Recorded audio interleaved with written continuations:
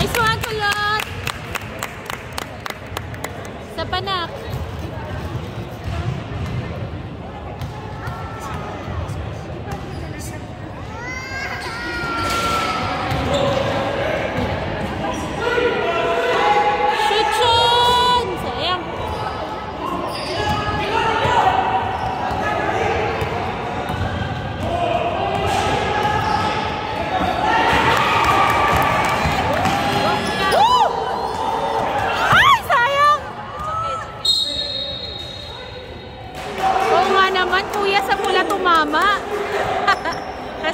tita, nasa likod siya.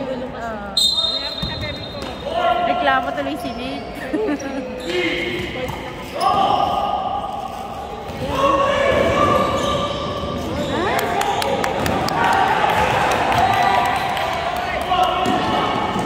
Masipag niya ni Yung number 3, ang sipag niyan. Kahit sa mga game niya nung mga before, pag nakikita ko siya.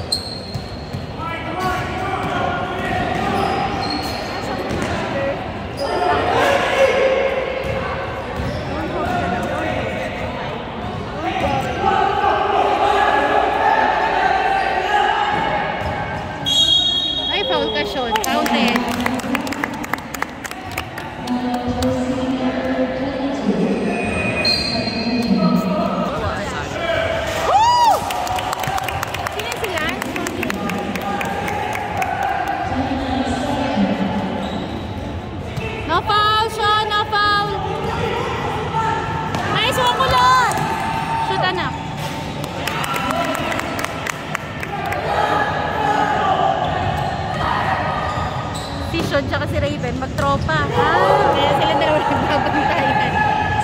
Kanina kasi Jill ang binabantayan niya. Ay si